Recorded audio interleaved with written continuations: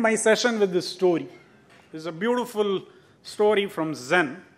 I have shaved off about 15 minutes. Okay, so um, so I have two more minutes, and that's all this story will take.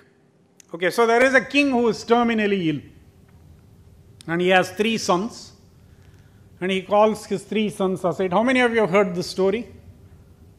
Okay. Pardon me for the repetition. Three or four have heard it. So the king says, uh, You know, I am terminally ill, but I am not a regular king to split the kingdom three ways. Only one of you will get the kingdom. And you have one week challenge. And the challenge is like this I have allocated a room in the palace for each of you. And here is some gold coins. Your job is to fill that room. Whoever does that best wins the kingdom.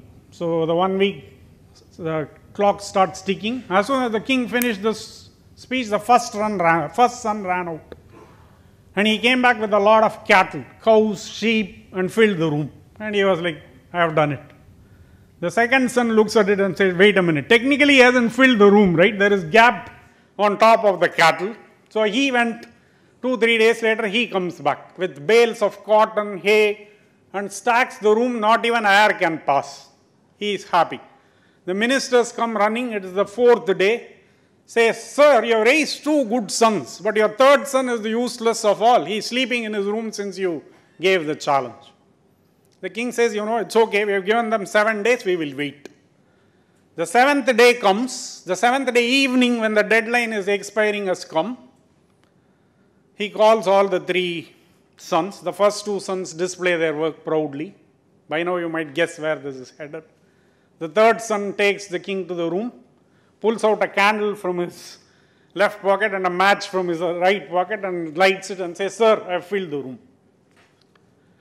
Now it's obvious who got the kingdom. But what is the f- mistake the first two sons made?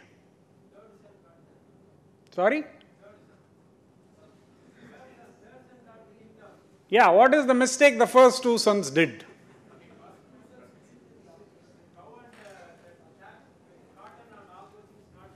No, no, I am trying to ask you what is the mistake in the thinking process?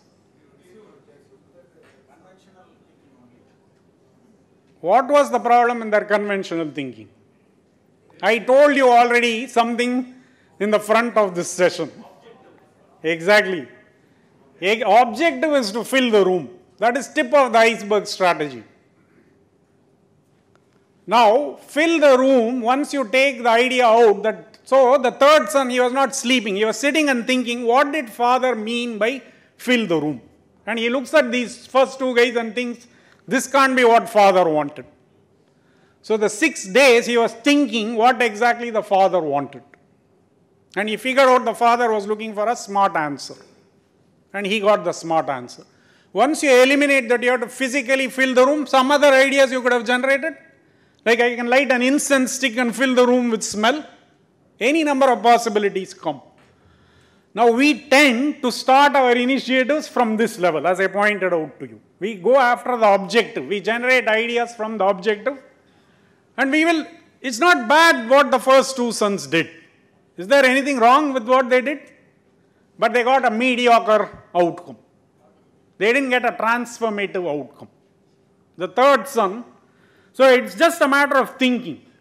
We can all do it. And I hope we all get to do this. And as Ram Kumar said, we get to leverage this big opportunity that is in front of us. And I thank you all for listening to my speech. Thank you.